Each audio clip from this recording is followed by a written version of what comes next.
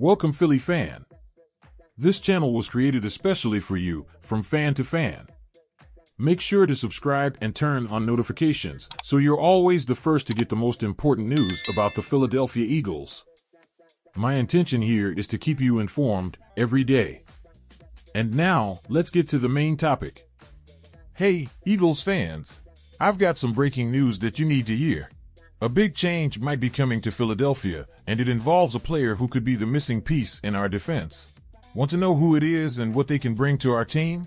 Then stay tuned. The buzz around the Philadelphia Eagles is the growing interest in Josey Jewell, the linebacker who has been shining with the Denver Broncos.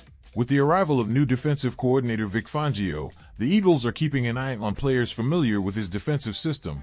Jewell, who worked with Fangio for three seasons, seems like the perfect choice. Jewell has an impressive record with 453 tackles, 9 sacks, and 7 fumble recoveries in his six NFL seasons.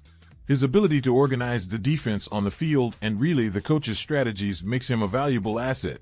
Moreover, his versatility allows him to adapt to different positions in the defense, which is essential in Fangio's scheme. The Eagles last season exposed some weaknesses in the linebacker position, and signing Jewell could be the solution to these problems. With an estimated salary of about $7.6 million per year, he would fit into the Eagles' budget, which has approximately $19.9 million available in the salary cap. This signing would not only strengthen the defense, but also bring experienced leadership to the group. The expectation is that Jewell can bring the same effectiveness to the Eagles that he demonstrated with the Broncos. His ability to anticipate opponents' plays and his tackling skills make him one of the most respected linebackers in the league. If the Eagles manage to close this deal, it will undoubtedly be a big step towards a more solid and competitive defense in the upcoming season.